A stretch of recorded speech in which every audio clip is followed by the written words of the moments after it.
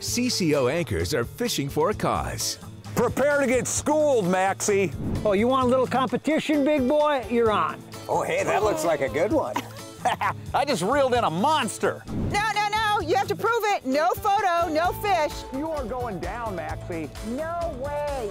Think they'll actually catch anything? Oh, I got another one. Join WCCO in the Hook, Line, and Shelter Fishing Tournament. Proceeds benefit Rebuilding Together Minnesota. Go to WCCO.com slash fish for details.